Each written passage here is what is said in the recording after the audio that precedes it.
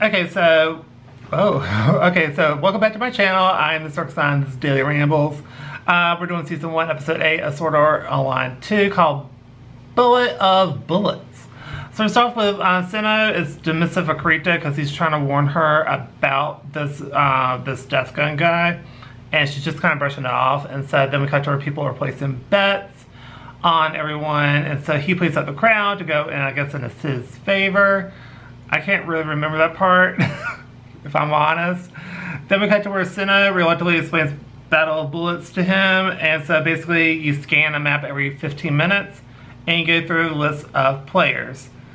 And there's only three players that she doesn't know, so it must be, so um, obviously the person that is uh, DG, which if you can't guess what DG is, that's on you, is under a different player's name. So there's three people that she doesn't know. So um, then, um, hmm. Then uh, they, so then we have the crew back in Sword Art Online are discussing why DG is doing what they're doing and whatever. And so then, because they managed to pull up a link and watch it from their, um, from Sword Art Online, they managed to get a link from GGO over to SEO. And so it started.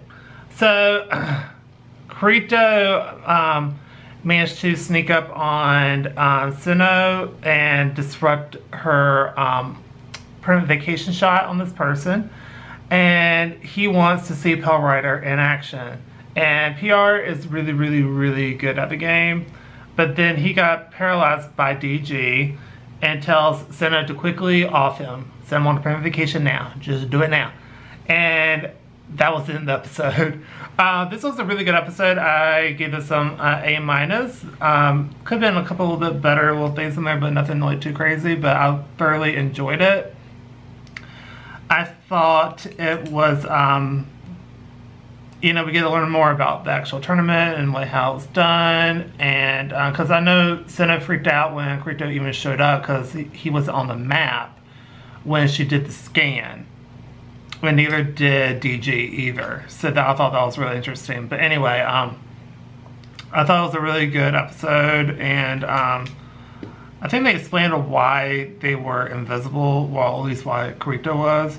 So in, um, in the next episode. So anyway that's going to do for this video. So like this video, please go to like, comment down below, tell me what you think of it, the episode. Do you agree, disagree? I love to hear other people's thoughts down below.